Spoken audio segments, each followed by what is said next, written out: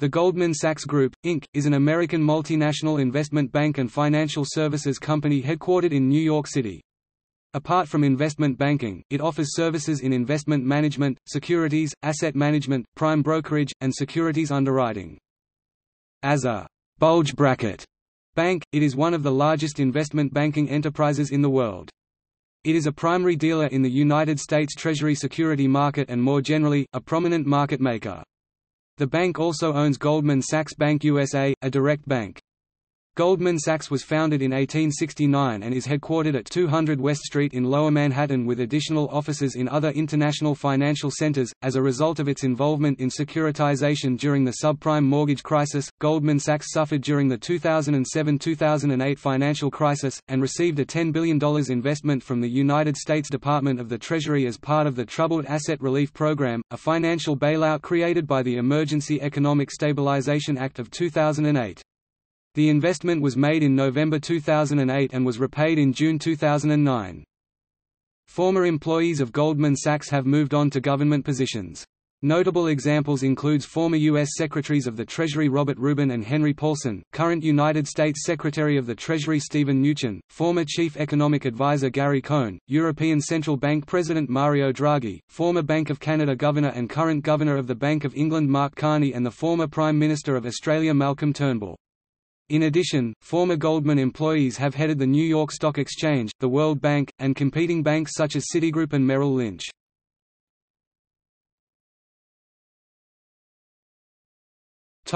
History Topic founding and establishment Goldman Sachs was founded in New York in 1869 by Marcus Goldman. In 1882, Goldman's son-in-law Samuel Sachs joined the firm. In 1885, Goldman took his son Henry and his son-in-law Ludwig Dreyfus into the business and the firm adopted its present name, Goldman Sachs & Co. The company made a name for itself pioneering the use of commercial paper for entrepreneurs and joined the New York Stock Exchange in 1896. By 1898, the firm's capital stood at $1.6 million, about $48 million in real value, and was growing rapidly. Goldman entered the initial public offering market in 1906 when it took Sears, Roebuck and Company public. The deal occurred due to Henry Goldman's personal friendship with an owner of Sears, Julius Rosenwald. Other IPOs followed, including F. W. Woolworth and Continental Can. In 1912, Henry S. Bowers became the first non-member of the founding family to become partner of the company and share in its profits. In 1917, under growing pressure from the other partners in the firm due to his pro-German stance, Henry Goldman resigned. Control of the firm was now in the hands of the Sachs family. Waddell Catchings joined the company in 1918. In 1920, the firm moved from 60 Wall Street to $1.5 million 12-story premises on 30 to 32 Pine Street. By 1928, Catchings was the Goldman partner with the single largest stake in the firm. On December 4, 1928, the firm launched the Goldman Sachs Trading Corp., a closed-end fund. The fund failed during the stock market crash of 1929, amid accusations that Goldman had engaged in share price manipulation and insider trading.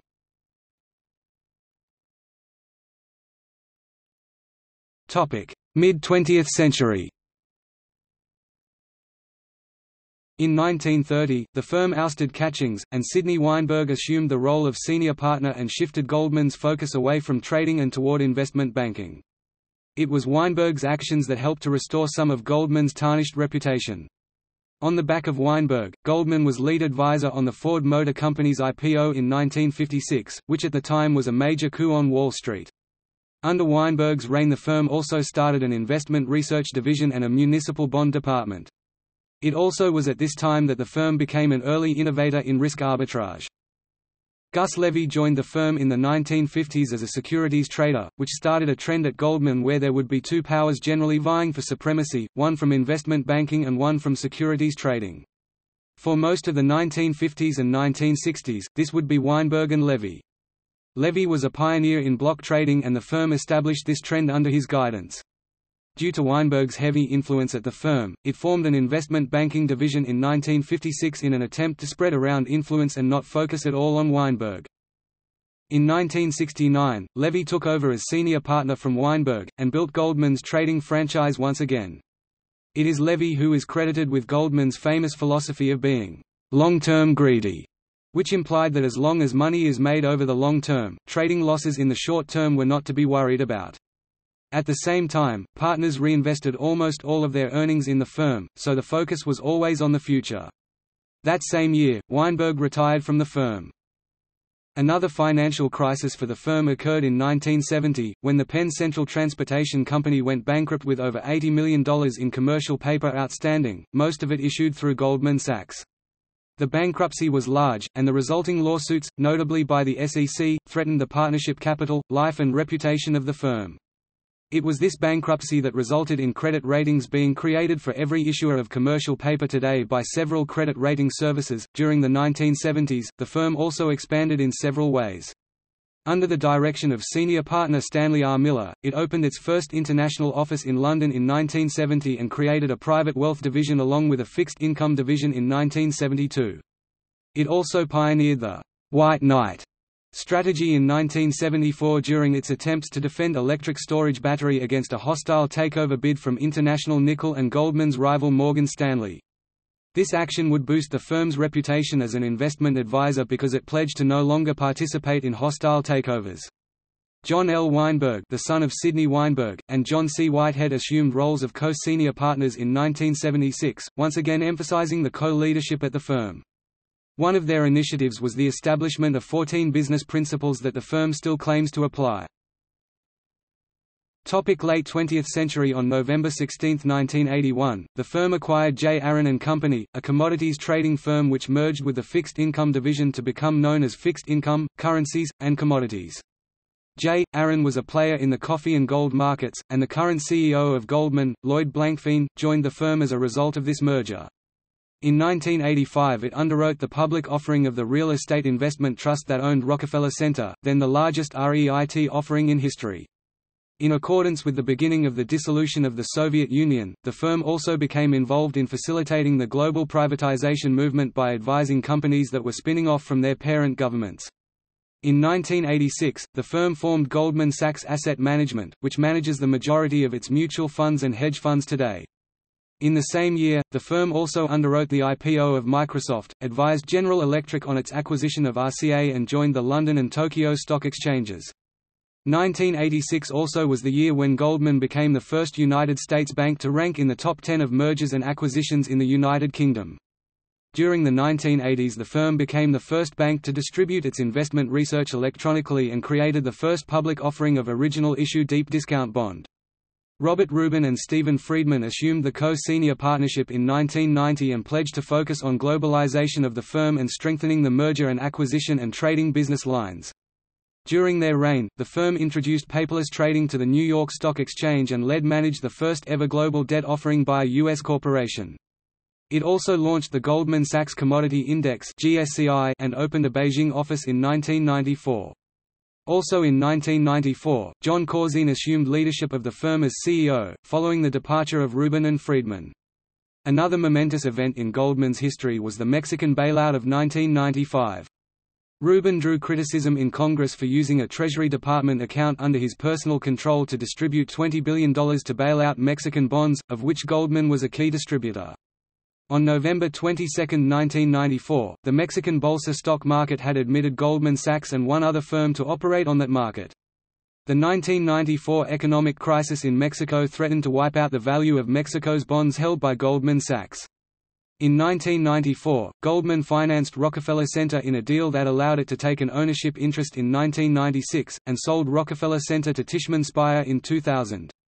In April 1997, Goldman was lead underwriter of the Yahoo IPO. In 1998 it was the co-lead manager of the 2 trillion yen NTT Docomo IPO. In 1999, Goldman acquired Hull Trading Company, one of the world's premier market-making firms, for $531 million. After decades of debate among the partners, the company became a public company via an initial public offering in May 1999. Goldman sold 12.6% of the company to the public, and, after the IPO, 48.3% of the company was held by the 221 former partners, 21.2% of the company was held by non-partner employees, and the remaining 17.9% was held by retired Goldman partners and two longtime investors, Sumitomo Bank Limited and Association, the investing arm of Kamehameha Schools. The shares were priced at $53 each and, after the IPO, Henry Paulson became chairman and chief executive officer, succeeding Jon Corzine. Topic 21st century Goldman Sachs purchased Spear, Leeds, and Kellogg, one of the largest specialist firms on the New York Stock Exchange, for $6.3 billion in September 2000. In January 2000, Goldman, along with Lehman Brothers, was the lead manager for the first Internet bond offering for the World Bank. In 2003, the firm took a 45% stake in a joint venture with JB the Australian Investment Bank.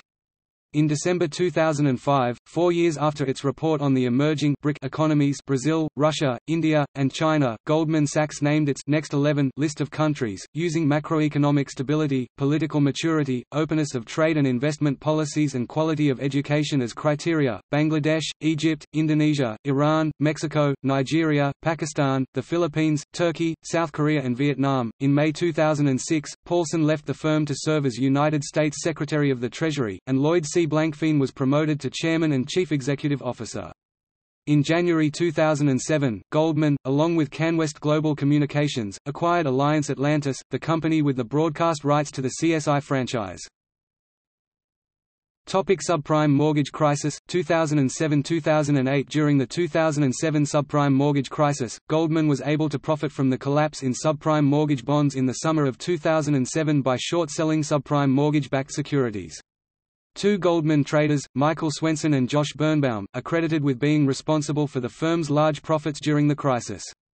The pair, members of Goldman's Structured Products Group in New York City, made a profit of $4 billion by betting on a collapse in the subprime market and shorting mortgage-related securities. By summer 2007, they persuaded colleagues to see their point of view and convinced skeptical risk management executives. The firm initially avoided large subprime write-downs and achieved a net profit due to significant losses on non-prime securitized loans being offset by gains on short mortgage positions. The firm's viability was later called into question as the crisis intensified in September 2008. On October 15, 2007, as the crisis had begun to unravel, Allan Sloan, a senior editor for Fortune magazine, wrote, So let's reduce this macro story to human scale. Meet GSAMP Trust 2006S3, a $494 million drop in the junk mortgage bucket, part of the more than half a trillion dollars of mortgage-backed securities issued last year. We found this issue by asking mortgage mavens to pick the worst deal they knew of that had been floated by a top-tier firm, and this one's pretty bad. It was sold by Goldman Sachs GSAMP originally stood for Goldman Sachs Alternative Mortgage Products but now has become a name itself, like AT&T and 3M. This issue, which is backed by ultra-risky second mortgage loans, contains all the elements that facilitated the housing bubble and bust. It's got speculators searching for quick gains in hot housing markets, it's got loans that seem to have been made with little or no serious analysis by lenders, and finally, it's got Wall Street, which churned out mortgage product because buyers wanted it. As they say on the street, when the ducks quack, feed them. On September 21, 2008, Goldman Sachs and Morgan Stanley, the last two major investment banks in the United States, both confirmed that they would become traditional bank holding companies. The Federal Reserve's approval of their bid to become banks ended the business model of an independent securities firm, 75 years after Congress separated them from deposit-taking lenders, and capped weeks of chaos that sent Lehman Brothers into bankruptcy and led to the rushed sale of Merrill Lynch & Co., to Bank of America Corp. On September 23, 2008, Berkshire Hathaway agreed to purchase $5 billion in Goldman's preferred stock, and also received warrants to buy another $5 billion in Goldman's common stock within five years. The company also raised $5 billion via a public offering of shares at $123 per share. Goldman also received a $10 billion preferred stock investment from the U.S. Treasury in October 2008. As part of the Troubled Asset Relief Program, TARP, Andrew Cuomo, then New York Attorney General, questioned Goldman's decision to pay 953 employees bonuses of at least $1 million each after it received TARP funds in 2008. That same period, however, CEO Lloyd Blankfein and six other senior executives opted to forego bonuses, stating they believed it was the right thing to do, in light of the fact that we are part of an industry that's directly associated with the ongoing economic distress. Cuomo called the move appropriate and prudent, and urged the executives of other banks to follow the firm's lead and refuse bonus payments. In June 2009, Goldman Sachs repaid the U.S. Treasury's TARP investment, with 23% interest in the form of $318 million in preferred dividend payments and $1.418 billion in warrant redemptions. On March 18, 2011, Goldman Sachs acquired Federal Reserve approval to buy back Berkshire's preferred stock in Goldman. In December 2009, Goldman announced that its top 30 executives will be paid year-end bonuses in restricted stock that they cannot sell for five years, with clawback provisions. During the 2008 financial crisis, the Federal Reserve introduced a number of short-term credit and liquidity facilities to help stabilize markets. Some of the transactions under these facilities provided liquidity to institutions whose disorderly failure could have severely stressed an already fragile financial system. Goldman Sachs was one of the heaviest users of these loan facilities, taking out many loans between March 18, 2008 and April 22, 2009. The Primary Dealer Credit Facility PDCF, the first Fed facility ever to provide overnight loans to investment banks, loaned Goldman Sachs a total of $589 billion against collateral such as corporate market instruments and mortgage-backed securities. The Term Securities Lending Facility TSLF, which allows primary dealers to borrow liquid Treasury securities for one month in exchange for less liquid collateral, loaned Goldman Sachs a total of $193 billion. Goldman Sachs's borrowings totaled $782 billion in hundreds of revolving transactions over these months. The loans were fully repaid in accordance with the terms of the facilities.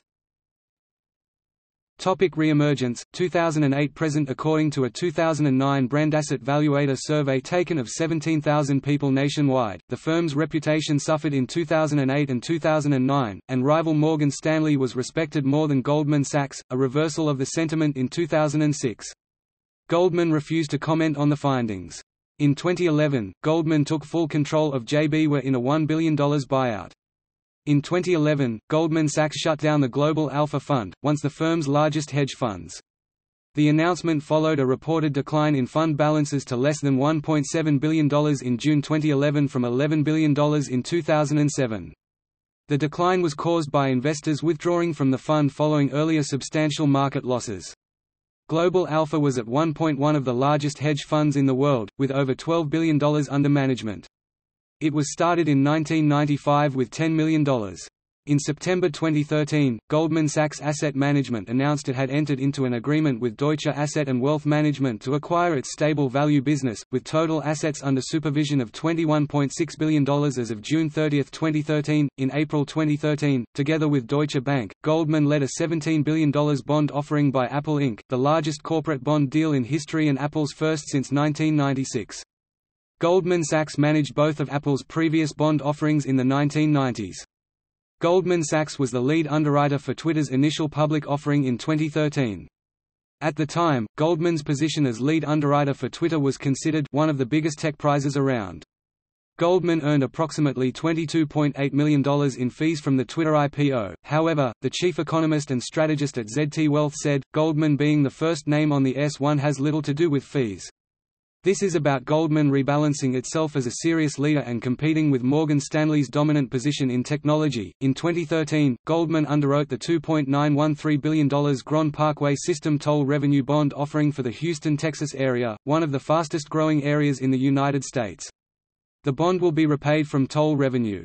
In June 2013, Goldman Sachs purchased loan portfolio from Brisbane-based Suncorp Group, one of Australia's largest banks and insurance companies.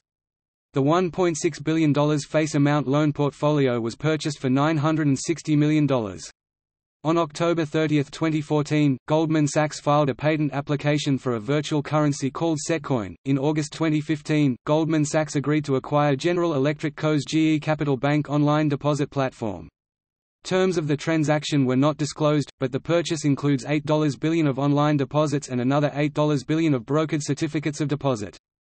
The purchase allows Goldman Sachs to access a stable and inexpensive pool of source of funding. In April 2016, Goldman Sachs launched a direct bank, GS Bank. In October 2016, Goldman Sachs Bank USA started offering no-fee personal loans under the brand Marcus by Goldman Sachs. In March 2016, Goldman Sachs agreed to acquire financial technology startup Honest Dollar, a digital retirement savings tool founded by American entrepreneur Whurley, focused on helping small business employees and self-employed workers obtain affordable retirement plans. Terms of the deal were not disclosed. In May 2017, Goldman Sachs purchased $2.8 billion of PDVSA 2022 bonds from the Central Bank of Venezuela. In April 2018, Goldman Sachs bought Clarity Money, a personal finance startup, to be added to its Marcus by Goldman Sachs roster. This acquisition is expected to add over 1 million customers to the Marcus business. Eventually, the application will be rebranded as Marcus.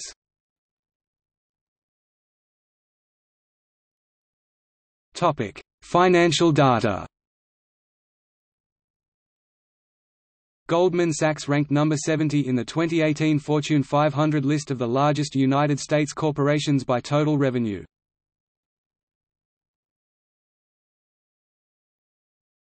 Topic: Current operations. The company includes four business units, as follows. Topic investment banking In 2015, investment banking accounted for 21% of total company revenues. Investment banking includes financial advisory mergers and acquisitions, investitures, corporate defense activities, restructuring, and spin-offs and underwriting capital raises, public offerings, and private placements of equity and debt instruments. Goldman Sachs is one of the leading M&A advisory firms, often topping the Thomson Financial League tables in sizes of transactions. The firm gained a reputation as a white knight in the mergers and acquisitions sector by advising clients on how to avoid unfriendly hostile takeovers. During the 1980s, Goldman Sachs was the only major investment bank with a strict policy against helping to initiate a hostile takeover, which increased the firm's reputation immensely among sitting management teams at the time.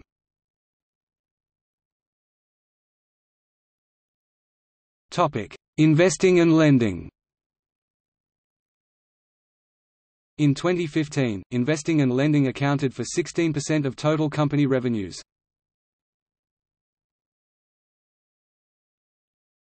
Topic: Institutional client services.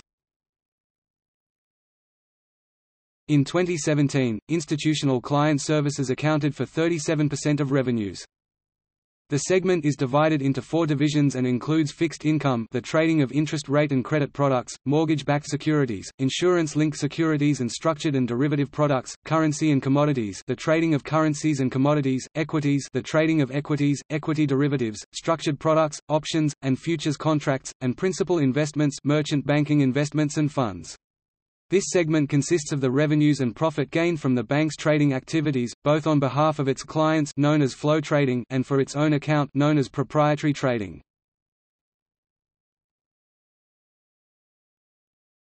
Topic: Investment management. In 2015, investment management accounted for 18% of total company revenues. The investment management division provides investment advisory and financial planning services and offers investment products primarily through separately managed accounts and commingled vehicles across all major asset classes to a diverse group of institutions and individuals worldwide. The division provides clearing, financing, custody, securities lending, and reporting services to institutional clients, including hedge funds, mutual funds, and pension funds. The division generates revenues primarily in the form of spreads, or management and transaction fees. Topic GS Capital Partners GS Capital Partners is the private equity arm of Goldman Sachs that invests on behalf of institutional clients. It has invested over $17 billion in the 20 years from 1986 to 2006. One of the most prominent funds is the GS Capital Partners V Fund, which has over $8.5 billion of equity for investment. On April 23, 2007, Goldman closed new investment in GS Capital Partners VI with $20 billion in committed capital, including $11 billion from qualified institutional and high net worth clients and $9 billion from Goldman Sachs and its employees.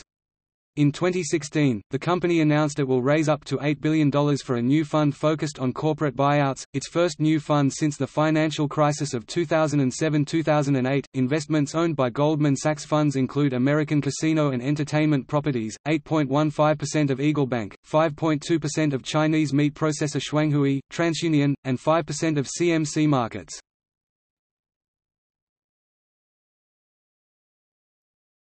Topic: Corporate citizenship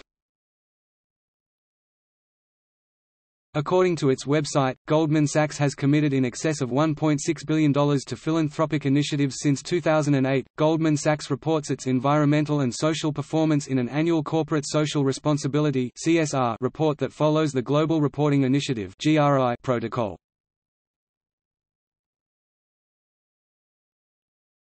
Topic: Goldman Sachs Global Leaders Program. During 2001 to 2009, the Goldman Sachs Global Leaders Program (GSGLP) identified 1050 exceptional undergraduate students from 100 participating universities and colleges around the globe, awarded them global leaders in recognition of their academic excellence and leadership potential. Global leaders study a diverse range of fields from economics to medical science. GSGLP alumni have gone on to win Rhodes, Truman, Marshall, Gates and Cambridge scholarships and Fulbright fellowships.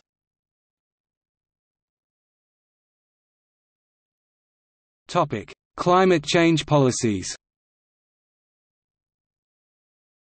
Goldman Sachs has received favorable press coverage for conducting business and implementing internal policies related to reversing global climate change.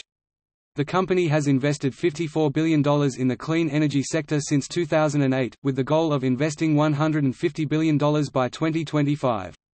Goldman Sachs has helped Tesla Motors raise $8 billion.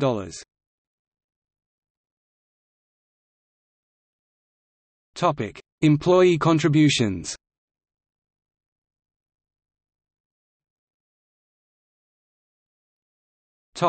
Goldman Sachs gives In November 2007, Goldman Sachs established a donor-advised fund called Goldman Sachs Gives that donates to charitable organizations around the world, and providing an employee donation match of up to $20,000.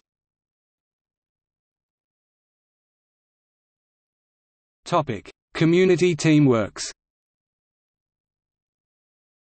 the firm's Community Teamworks is an annual, global volunteering initiative that gives 25,000 Goldman employees a day off work from May through August to volunteer in a team-based project organized with a local non-profit organization. The initiative has worked on 1,600 projects for 900 organizations.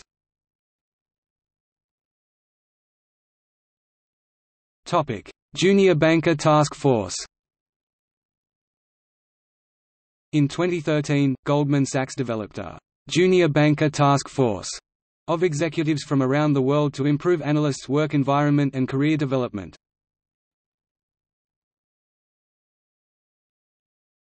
Topic: 10,000 women.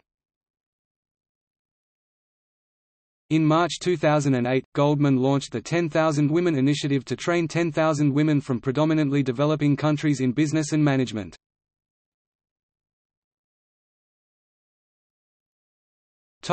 10,000 small businesses In November 2009, Goldman pledged $500 million to aid small businesses in its 10,000 Small Businesses Initiative. The initiative aims to provide 10,000 small businesses with assistance, ranging from business and management education and mentoring to lending and philanthropic support. The networking is offered through partnerships with national and local business organizations, as well as employees of Goldman Sachs. In addition to Goldman CEO Lloyd Blankfein, Berkshire Hathaway's Warren Buffett and Harvard Business School professor Michael Porter chair the program's advisory council. Through the program, in 2015, Goldman Sachs made a $2 million donation to LaGuardia Community College in New York.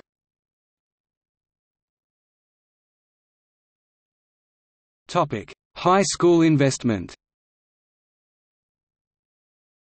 Goldman invested $16 million to help build a 45,000 square foot campus for 1,000 middle school and high school students in Lincoln Heights in Los Angeles for the Alliance College Ready Public Schools charter system. The school opened in the fall of 2012. Topic: Social impact funds. During 2014, Goldman Sachs sponsored a $250 million social impact fund. Returns on the fund, launched by the Urban Investment Group, are linked to the success of a variety of projects with high social value, including affordable housing projects, preschool education, and an educational project for prisoners designed to reduce recidivism. Between 2001 and 2014, over $3 billion of Goldman Sachs capital has been utilized for impact investing.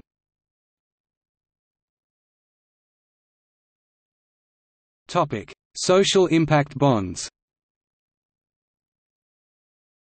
In August 2012, Goldman Sachs created the first social impact bond in the United States.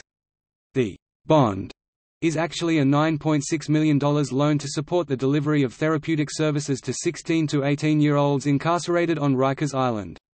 The loan will be repaid based on the actual and projected cost savings realized by the New York City Department of Correction as a result of the expected decrease in recidivism. In June 2013, Goldman Sachs launched its second social impact bond, a loan of up to $4.6 million for a childhood education program in Salt Lake City, Utah. The United Way of Salt Lake said that the investment deal, by Goldman Sachs and J.B. Pritzker, could potentially benefit up to 3,700 children over multiple years and save state and local government millions of additional dollars.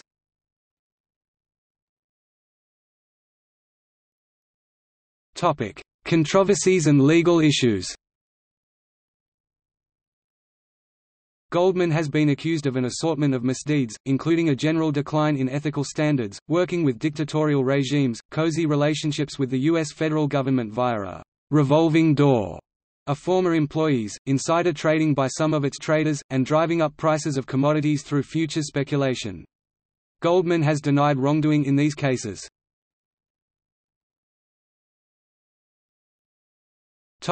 CEO to worker pay ratio For the first time in 2018, a new Securities and Exchange Commission rule mandated under the 2010 Dodd-Frank financial reform requires publicly traded companies to disclose how their CEOs are compensated in comparison with their employees. In public filings, companies have to disclose their pay ratios, or the CEO's compensation divided by the median employees. According to SEC filings, the Goldman Sachs Group Inc. paid its CEO $21,995,266 in 2017.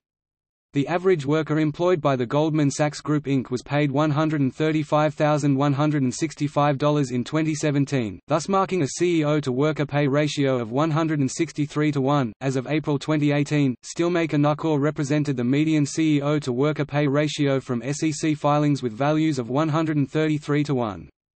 Bloomberg Businessweek on May 2, 2013 found the ratio of CEO pay to the typical worker rose from about 20 to 1 in the 1950s to 120 to 1 in 2000.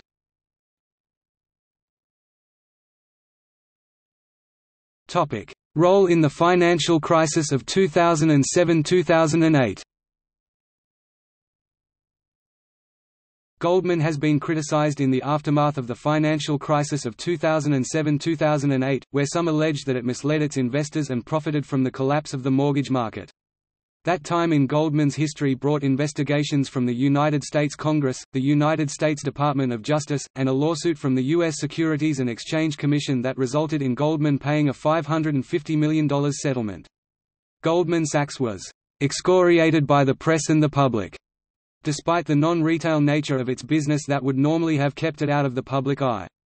Visibility and antagonism came from the $12.9 billion Goldman received, more than any other firm, from AIG counterparty payments provided by the bailout of AIG, the $10 billion in TARP money it received from the government though the firm paid this back to the government, and a record $11.4 billion set aside for employee bonuses in the first half of 2009. While all the investment banks were scolded by congressional investigations, Goldman Sachs was subject to a solo hearing in front of the Senate Permanent Subcommittee on Investigations, and a quite critical report. In a widely publicized story in Rolling Stone, Matt Taibbi characterized Goldman Sachs as a great vampire squid, sucking money instead of blood, allegedly engineering every major market manipulation since the Great Depression, from tech stocks to high gas prices.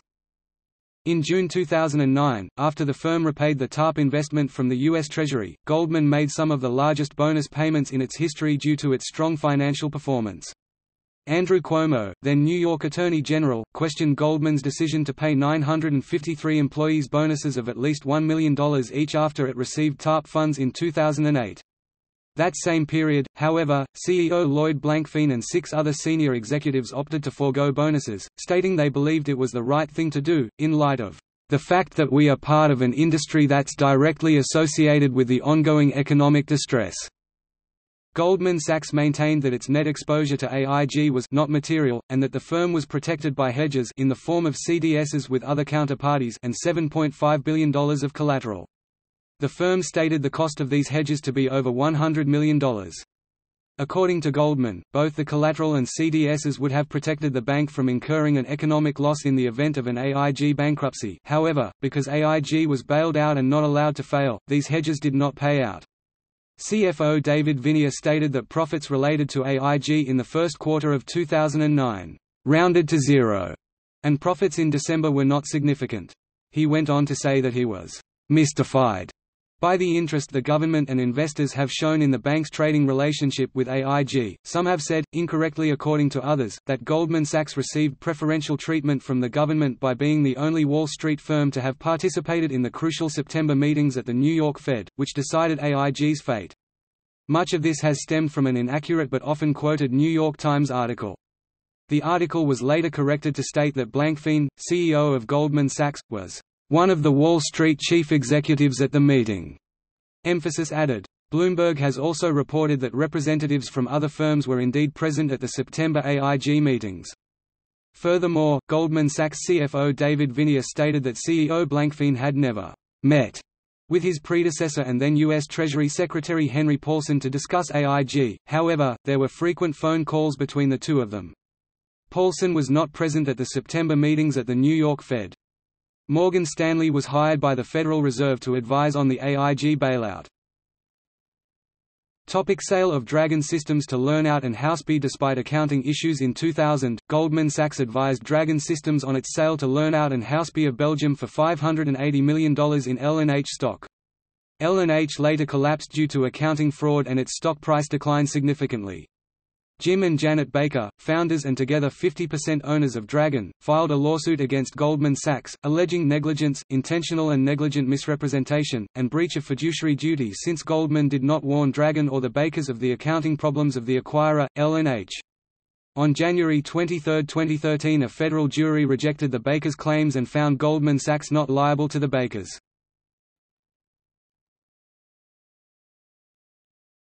Topic: Stock price manipulation Goldman Sachs was charged for repeatedly issuing research reports with extremely inflated financial projections for Exodus Communications and Goldman Sachs was accused of giving Exodus its highest stock rating even though Goldman knew Exodus did not deserve such a rating. On July 15, 2003, Goldman Sachs, Lehman Brothers and Morgan Stanley were sued for artificially inflating the stock price of RSL Communications by issuing untrue or materially misleading statements in research analyst reports, and paid $3,380,000 for settlement. Goldman Sachs is accused of asking for kickback bribes from institutional clients who made large profits flipping stocks which Goldman had intentionally undervalued in initial public offerings it was underwriting. Documents under seal in a decade-long lawsuit concerning Etoys.com's initial public offering (IPO) in 1999 but released accidentally to the New York Times show that IPOs managed by Goldman were underpriced and that Goldman asked clients able to profit from the prices to increase business with it. The clients willingly complied with these demands because they understood it was necessary in order to participate in further such undervalued IPOs. Companies going public and their initial consumer stockholders are both defrauded by this practice.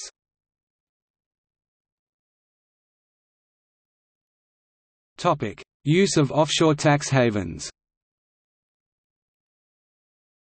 A 2016 report by Citizens for Tax Justice stated that Goldman Sachs reports having 987 subsidiaries in offshore tax havens, 537 of which are in the Cayman Islands, despite not operating a single legitimate office in that country, according to its own website. The group officially holds $28.6 billion offshore.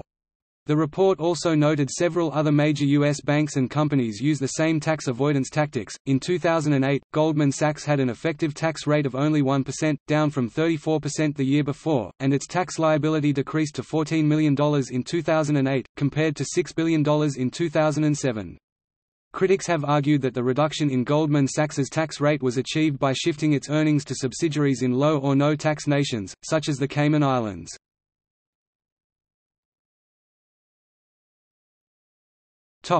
Involvement in the European sovereign debt crisis. Goldman is being criticized for its involvement in the 2010 European sovereign debt crisis. Goldman Sachs is reported to have systematically helped the Greek government mask the true facts concerning its national debt between the years 1998 and 2009. In September 2009, Goldman Sachs, among others, created a special credit default swap index to cover the high risk of Greece's national debt. The interest rates of Greek national bonds soared, leading the Greek economy very close to bankruptcy in 2010 and 2011. Ties between Goldman Sachs and European leadership positions were another source of controversy.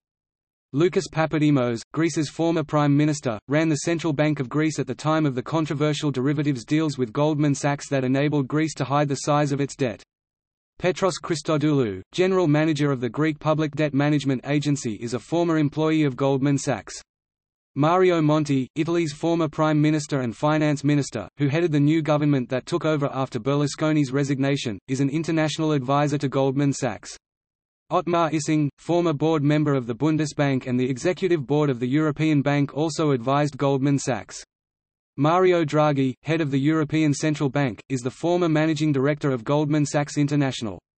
Antonio Borges, head of the European Department of the International Monetary Fund in 2010-2011 and responsible for most of enterprise privatizations in Portugal since 2011, is the former vice chairman of Goldman Sachs International. Carlos Moedas, a former Goldman Sachs employee, was the Secretary of State to the Prime Minister of Portugal and Director of ESAME, the agency created to monitor and control the implementation of the structural reforms agreed by the Government of Portugal and the Troika composed of the European Commission, the European Central Bank and the International Monetary Fund. Peter Sutherland, former Attorney General of Ireland was a non-executive director of Goldman Sachs International.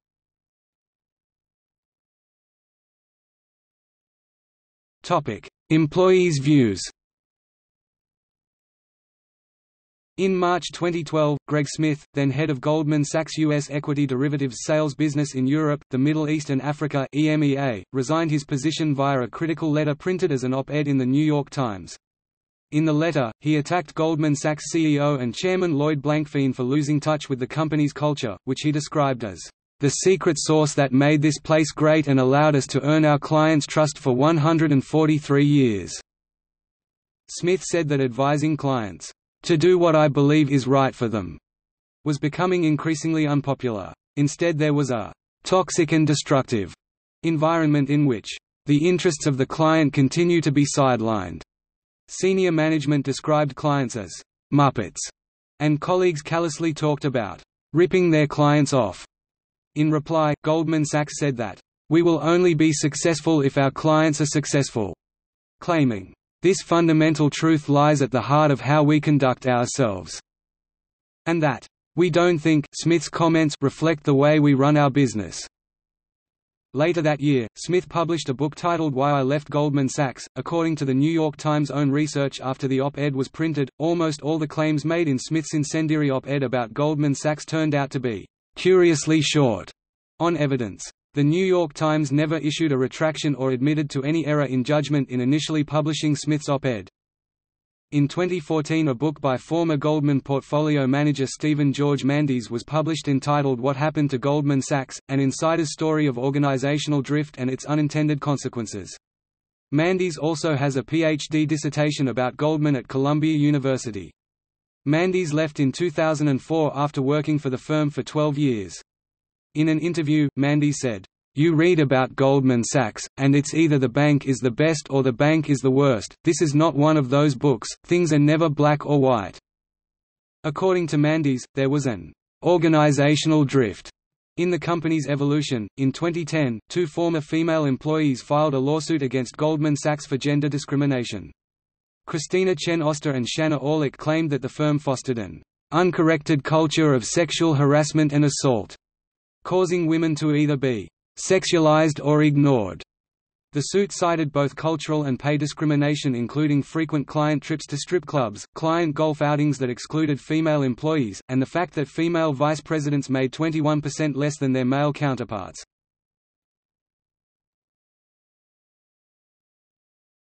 Topic: Advice to short California bonds underwritten by the firm. On November 11, 2008, the Los Angeles Times reported that Goldman Sachs had both earned $25 million from underwriting California bonds, and advised other clients to short those bonds. While some journalists criticized the contradictory actions, others pointed out that the opposite investment decisions undertaken by the underwriting side and the trading side of the bank were normal and in line with regulations regarding Chinese walls, and in fact critics had demanded increased independence between underwriting and trading.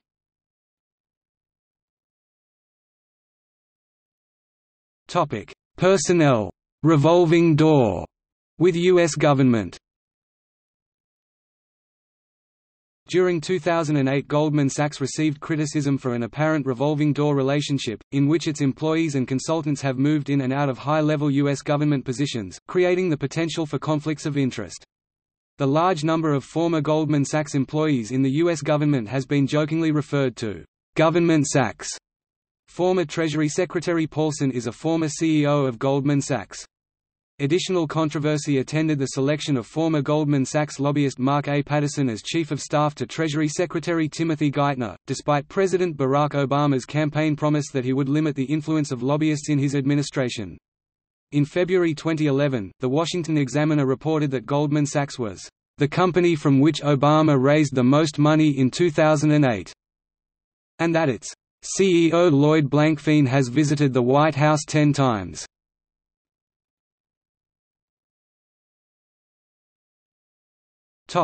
Insider trading cases.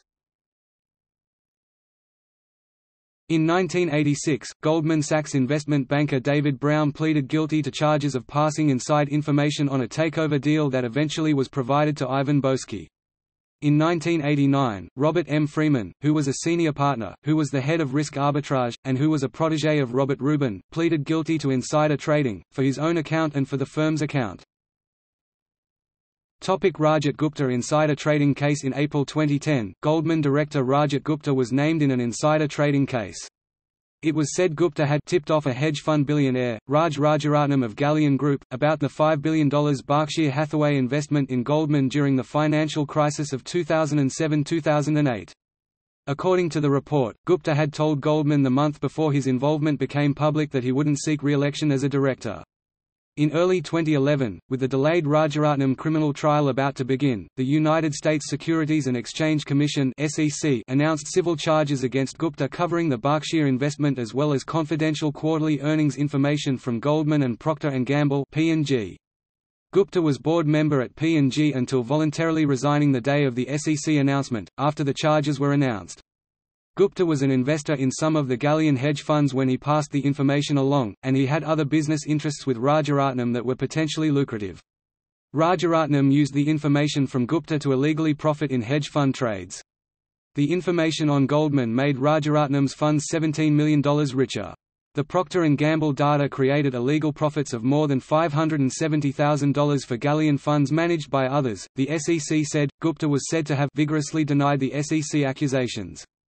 He was also a board member of AMR Corporation. Gupta was convicted in June 2012 on insider trading charges stemming from Galleon Group case on four criminal felony counts of conspiracy and securities fraud.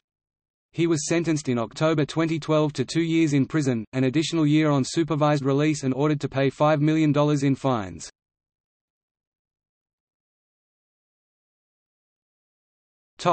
Abacus mortgage-backed CDOs and $550 million settlement 2010. Unlike many investors and investment bankers, Goldman Sachs anticipated the subprime mortgage crisis that developed in 2007–8. Some of its traders became «bearish» on the housing boom beginning in 2004 and developed mortgage-related securities, originally intended to protect Goldman from investment losses in the housing market. In late 2006, Goldman management changed the firm's overall stance on the mortgage market from positive to negative.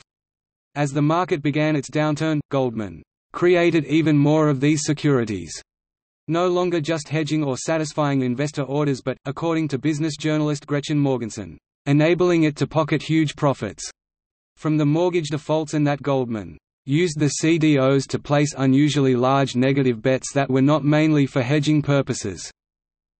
Authors Bethany McLean and Joe Nocera stated that, "...the firm's later insistence that it was merely a market maker in these transactions, implying that it had no stake in the economic performance of the securities it was selling to clients, became less true over time." The investments were called synthetic CDOs because unlike regular collateralized debt obligations, the principal and interest they paid out came not from mortgages or other loans, but from premiums to pay for insurance against mortgage defaults the insurance known as credit default swaps. Goldman and some other hedge funds held a «short» position in the securities, paying the premiums, while the investors insurance companies, pension funds, etc. receiving the premiums with a «long» position. The longs were responsible for paying the insurance claim to Goldman and any other shorts if the mortgages or other loans defaulted. Through April 2007 Goldman issued over 20 CDOs in its Abacus series worth a total of $10.9 billion. Altogether Goldman packaged, sold, and shorted a total of 47 synthetic CDOs, with an aggregate face value of $66 billion between July 1, 2004 and May 31, 2007, but while Goldman was praised for its foresight, some argued its bets against the securities it created gave it a vested interest in their failure. These securities performed very poorly for the long investors and by April 2010, at least $5 billion worth of the securities either carried «junk» ratings, or had defaulted. One CDO examined by critics which Goldman bet against, but also sold to investors, was the $800 million Hudson Mezzanine CDO issued in 2006. In the Senate Permanent Subcommittee hearings, Goldman executives stated that the company was trying to remove subprime securities from its books. Unable to sell them directly, it included them in the underlying securities of the CDO and took the short side, but critics McLean and Nocera complained the CDO prospectus did not explain this but described its contents as assets sourced from the street, making it sound as though Goldman randomly selected the securities, instead of specifically creating a hedge for its own book. The CDO did not perform well, and by March 2008 just 18 months after its issue, so many borrowers had defaulted that holders of the security paid out about $310 million to Goldman and others who had bet against it. Goldman's head of European fixed income sales lamented in an email made public by the Senate Permanent Subcommittee on Investigations, the real bad feeling across European sales about some of the trades we did with clients who had invested in the CDO. The damage this has done to our franchise is very significant. Critics also complain that while Goldman's investors were large, ostensibly sophisticated banks and insurers, at least some of the CDO securities and their losses filtered down to small public agencies.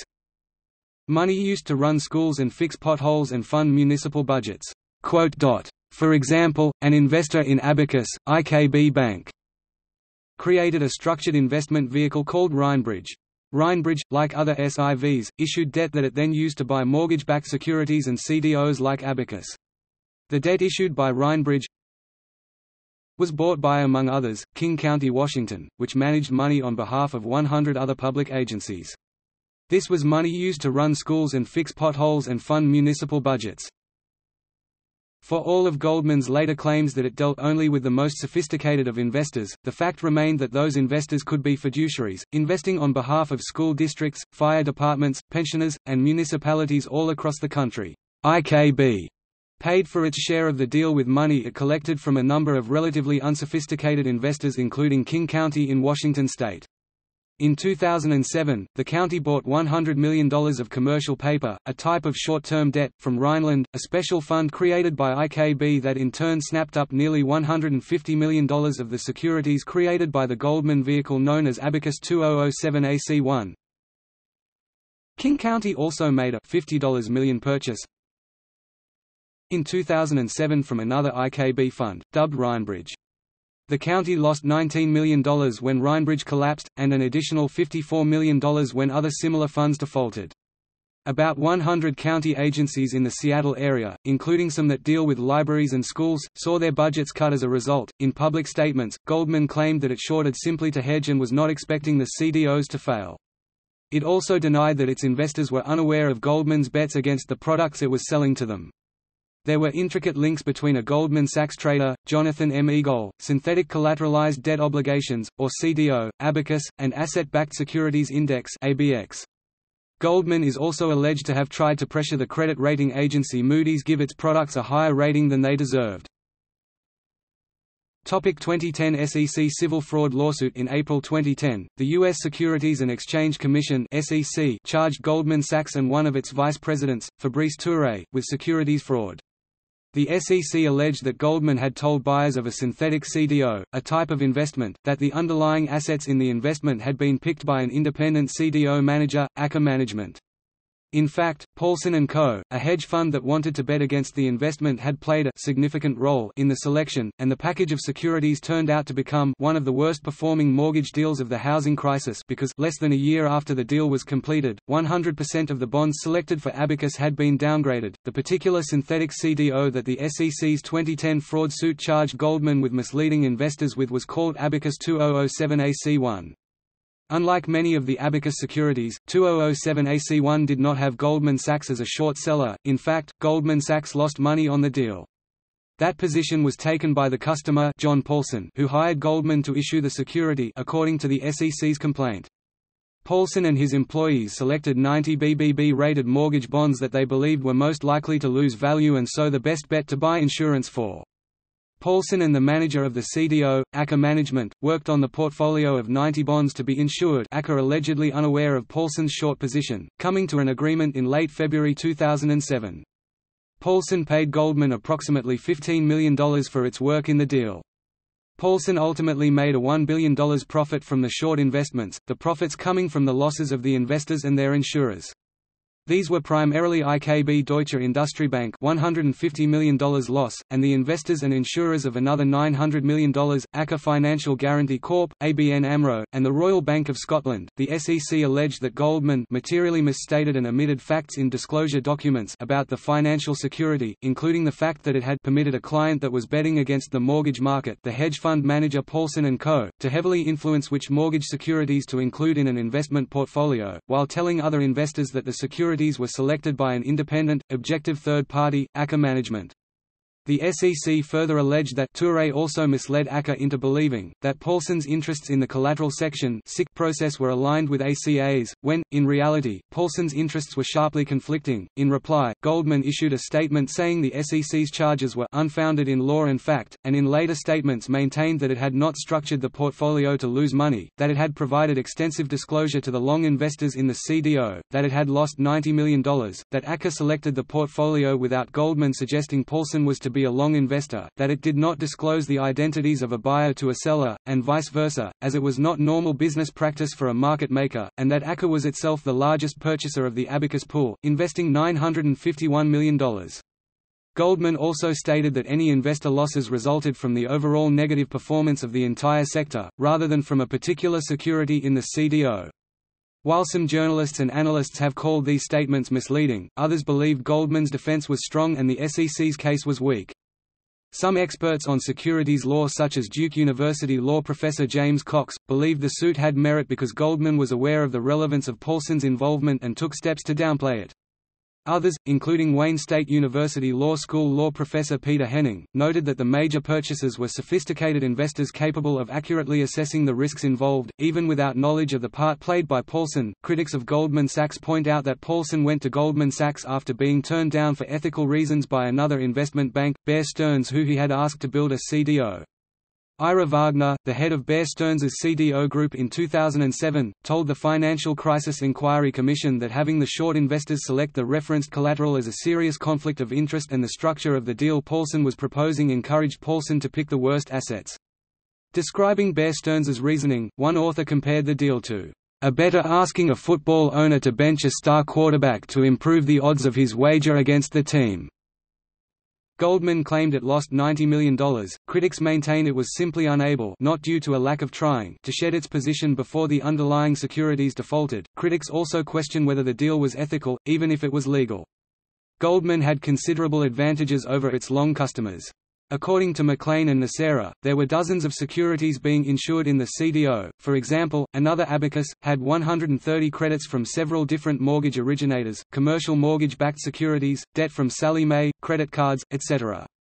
Goldman bought mortgages to create securities, which made it far more likely than its clients to have early knowledge That the housing bubble was deflating and the mortgage originators like New Century had begun to falsify documentation and sell mortgages to customers unable to pay the mortgage holders back, which is why the fine print on at least one Abacus prospectus warned long investors that the protection buyer Goldman may have information, including material, non-public information which it was not providing to the long investors. According to an article in the Houston Chronicle, critics also worried that Abacus might undermine the position of the U.S. as a safe harbor for the world's investors, and that the involvement of European interests as losers in this allegedly fixed game has attracted the attention of that region's political leaders, most notably British Prime Minister Gordon Brown, who has accused Goldman of moral bankruptcy. This is, in short, a big global story. Is what Goldman Sachs did with its Abacus investment vehicle illegal? That will be for the courts to decide. But it doesn't take a judge and jury to conclude that, legalities aside, this was just wrong. On July 15, 2010, Goldman settled out of court, agreeing to pay the SEC and investors $550 million, including $300 million to the U.S. government and $250 million to investors, one of the largest penalties ever paid by a Wall Street firm. In August 2013 Touré was found liable on six of seven counts by a federal jury. The company did not admit or deny wrongdoing, but did admit that its marketing materials for the investment contained incomplete information, and agreed to change some of its business practices regarding mortgage investments. Topic: Touré defense of Abacus lawsuit The 2010 Goldman settlement did not cover charges against Goldman vice president and salesman for Abacus, Fabrice Touré. Touré unsuccessfully sought a dismissal of the suit, which then went to trial in 2013. On August 1, a federal jury found Touré liable on six of seven counts, including that he misled investors about the mortgage deal. He was found not liable on the charge that he had deliberately made an untrue or misleading statement.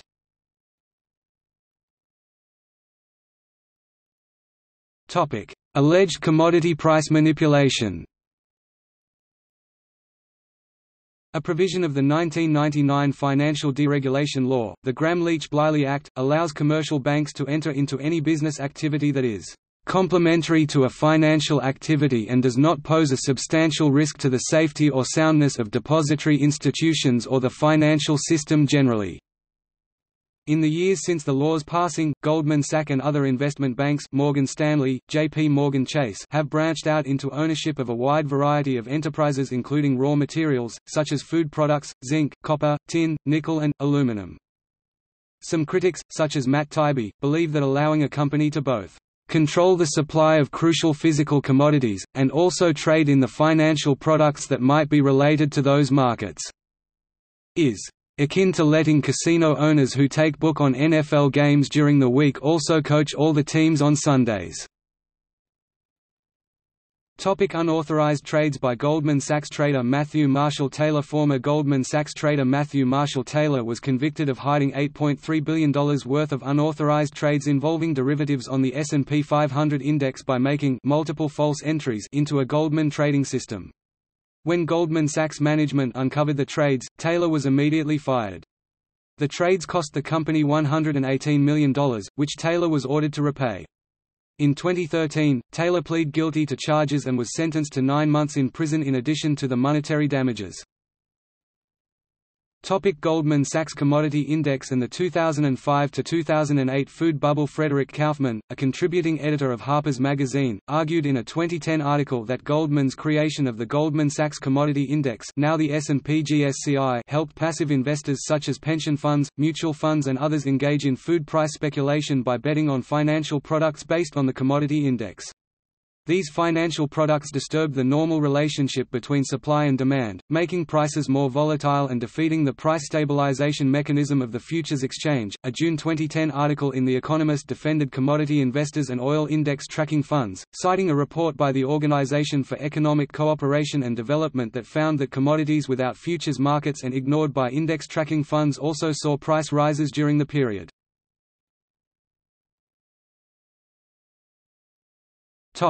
Aluminum price and supply. In a July 2013 article, David Kocieniewski, a journalist with The New York Times accused Goldman Sachs and other Wall Street firms of capitalizing on loosened federal regulations to manipulate a variety of commodities markets, particularly aluminum, citing financial records, regulatory documents, and interviews with people involved in the activities. After Goldman Sachs purchased aluminum warehousing company Metro International in 2010, the wait of warehouse customers for delivery of aluminum supplies to their factories, to make beer cans, home siding, and other products, went from an average of six weeks to more than 16 months, according to industry records. Aluminum industry analysts say that the lengthy delays at Metro International after Goldman took over are a major reason the premium on all aluminum sold in the spot market has doubled since 2010. The price increase has cost American consumers more than $5 billion. From 2010 to 2013 according to former industry executives, analysts and consultants.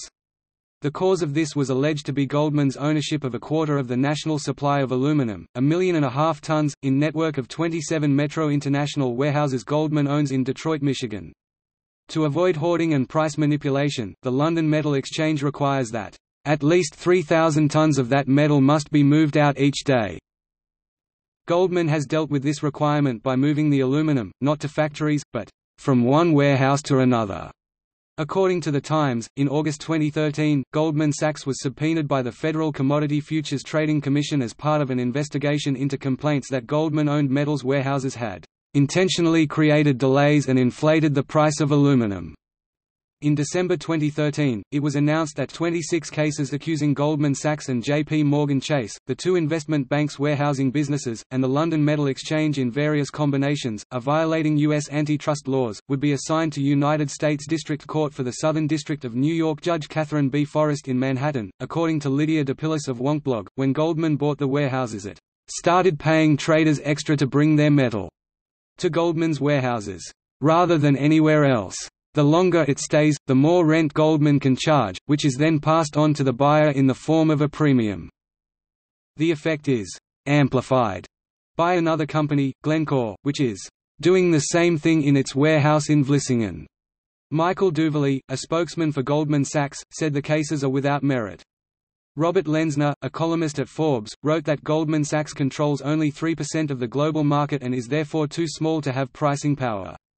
An article published by Bloomberg LP also debunked the conspiracy theory. In December 2014, Goldman Sachs sold its aluminum warehousing business to Reuben Brothers.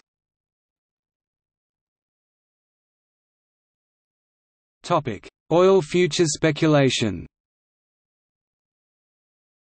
Investment banks, including Goldman, have also been accused of driving up the price of gasoline by speculating on the oil futures exchange.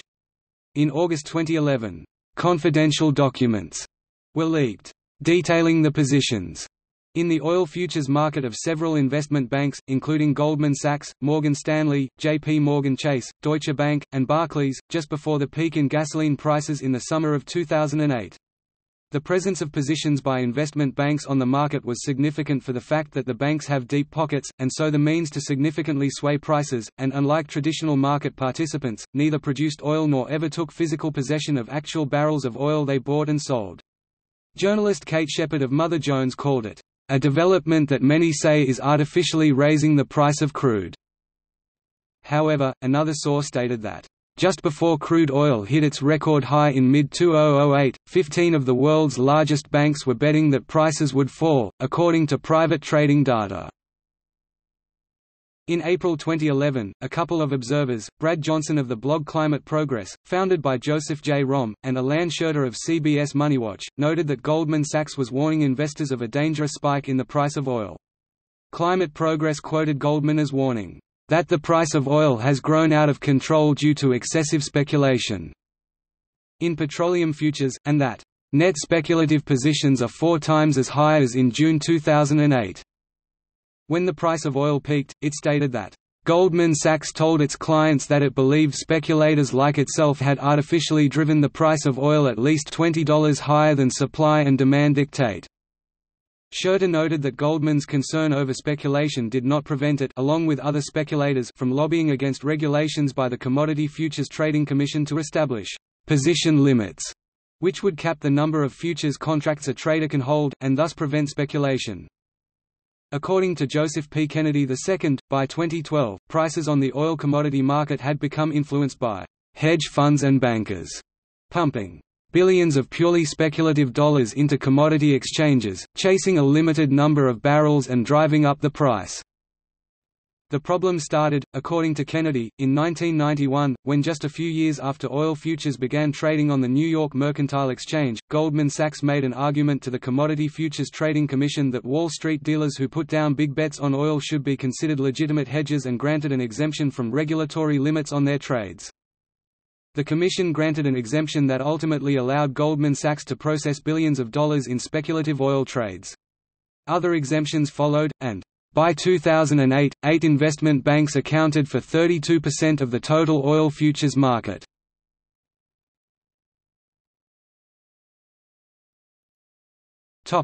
Danish utility sale 2014. Goldman Sachs's purchase of an 18% stake in state-owned Dong Energy, Denmark's largest electric utility, set off a «political crisis» in Denmark. The sale, approved in January 30, 2014 sparked protest in the form of the resignation of six cabinet ministers and the withdrawal of a party Socialist People's Party from Prime Minister Helle Thorning-Schmidt's leftist governing coalition. According to Bloomberg Businessweek, the role of Goldman in the deal struck a nerve with the Danish public, which is still suffering from the after-effects of the global financial crisis. Protesters in Copenhagen gathered around a banner, with a drawing of a vampire squid, the description of Goldman used by Matt Taibbi in Rolling Stone in 2009. Opponents expressed concern that Goldman would have some say in Dong's management, and that Goldman planned to manage its investment through subsidiaries in Luxembourg, the Cayman Islands, and Delaware, which made Danes suspicious that the bank would shift earnings to tax havens. Goldman purchased the 18% stake in 2014 for 8 billion kroner and sold just over a 6% stake in 2017 for 6.5 billion kroner.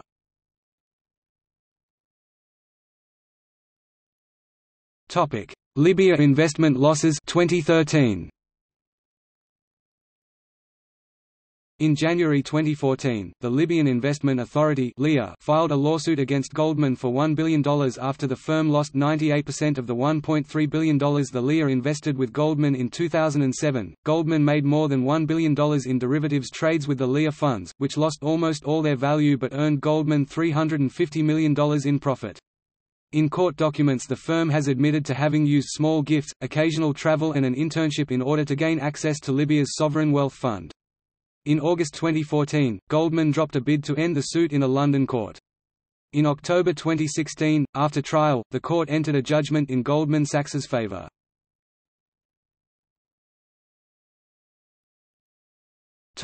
Improper securities lending practices In January 2016, Goldman Sachs agreed to pay $15 million after it was found that a team of Goldman employees, between 2008 and 2013, granted locates by arranging to borrow securities to settle short sales without adequate review. However, U.S. regulation for short selling requires brokerages to enter an agreement to borrow securities on behalf of customers or to have reasonable grounds for believing that it can borrow the security before entering contracts to complete the sale. Additionally, Goldman Sachs gave incomplete and unclear Responses to information requests from SEC compliance examiners in 2013 about the firm's securities lending practices.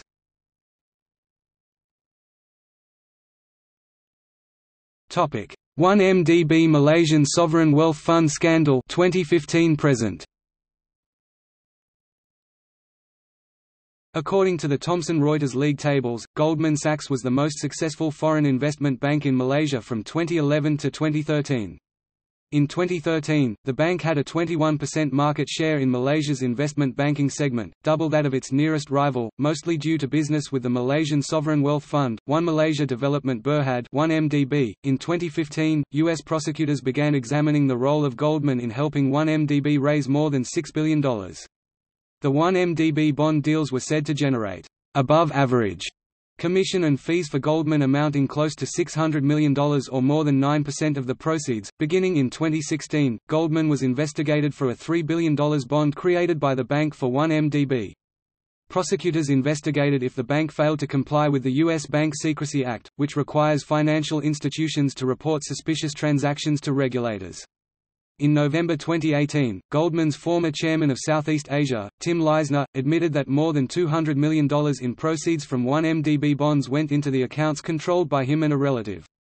Leissner and another former Goldman banker Roger Ng together with Malaysian financier J. H. O. Low were charged with money laundering while Goldman chief executive David Solomon felt horrible about the ex-staff went around the policies and broke the law. On December 17, 2018, Malaysia filed criminal charges against subsidiaries of Goldman and their former employees Tim Leissner and Roger Ng, alleging their commission of misleading statements in order to dishonestly misappropriate $2.7 billion from the proceeds of 1MDB bonds arranged and underwritten by Goldman in 2012 and 2013.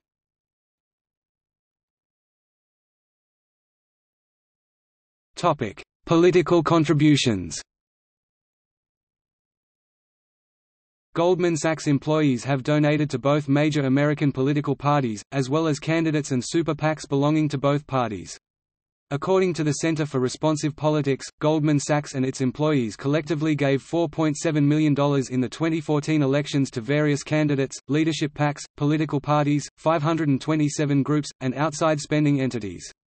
In the 2016 election cycle, Goldman employees were reported as of September 2016 to have donated $371,245 to the Republican National Committee and $301,119 to the Hillary Clinton presidential campaign.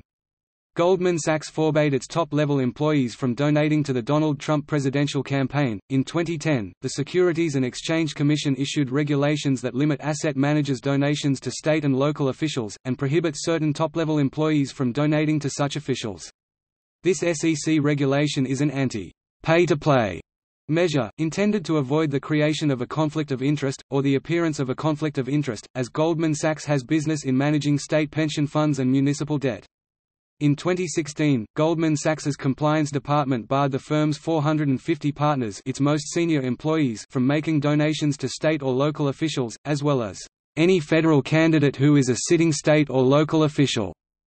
One effect of this rule was to bar Goldman partners from directly donating to Donald Trump's presidential campaign, since Trump's running mate, Mike Pence, was the sitting governor of Indiana. Donations to Hillary Clinton's presidential campaign were not barred by the policy, since neither Clinton nor her running mate Tim Kaine were sitting state or local officials.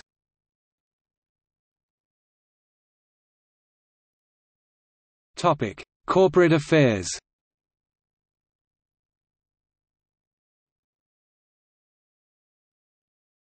Topic: Employee satisfaction The company has been on Fortune magazine's 100 Best Companies to Work For list since the list was launched in 1998, with emphasis placed on its support for employee philanthropic efforts and high employee compensation levels.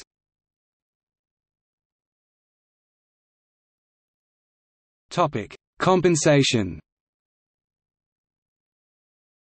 In the first three months of 2016, the average total compensation per employee was $72,931 for the three months, 44% below the same period in 2015. The average total compensation per employee for the full year of 2006 was $622,000.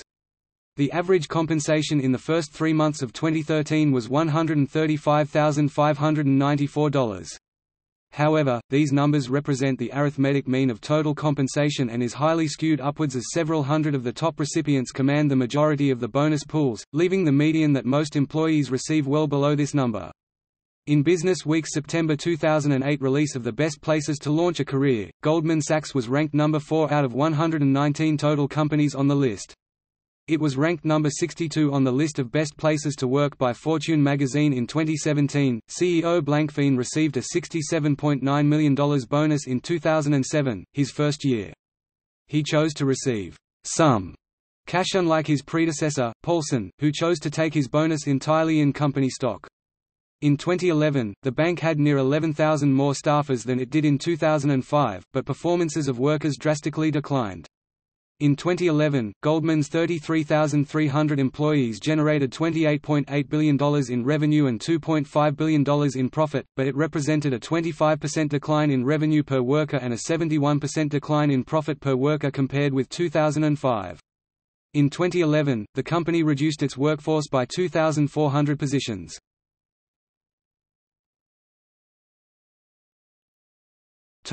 List of officers and directors. The company's officers and directors are listed on its website as follows. Topic: Headquarters and other major offices. In 1957, the company's headquarters was relocated to 20 Broad Street, New York City. Goldman Sachs's global headquarters is now at 200 West Street, New York City, and the company has major offices and regional headquarters in London, Bangalore, Hong Kong, Tokyo and Salt Lake City.